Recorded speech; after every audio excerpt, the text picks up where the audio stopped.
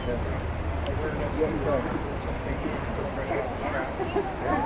yes, he did. Huh? I asked if he painted it, and he said yes.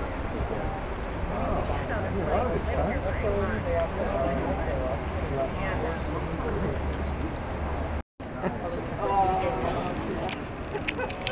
Don't jump out of your stall. I think I took a hold of them. The paintings usually.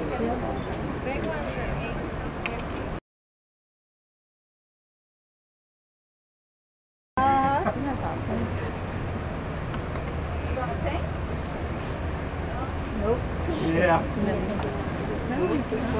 Well, all I these know. paintings from the work on too. Metro's the only one that paints. Uh, this is one that we were we've got a couple days into. Metro, we build it up in layers. We start. This was all red to start with. Then we did the blues and the greens, and we let that dry, and did a little red over it. And we're going to finish it off with some oranges and reds and pinks. And what we do is we're looking for these little textures. So we build them up in layers. And he makes these big juicy brush strokes and when it dries and he comes over the next day with a different color, it gets all these little broken textures in here. And we get when we get about four or five layers, it really adds a depth to it. That kind of makes his painting so unique. But he's not going to paint. It's first day back at the track, but we were hoping he would. Oh, look at that.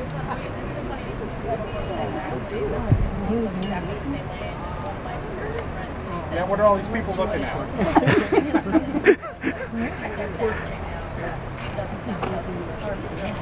This one here, we're a couple days into it. We did the browns, and then when, and then we came back and we did the purples and yellows, and then we're going to build up more browns, more purples, and uh, in two or three more days, a couple, few more layers. This one's going to be complete.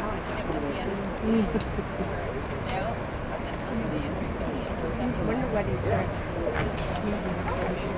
he's.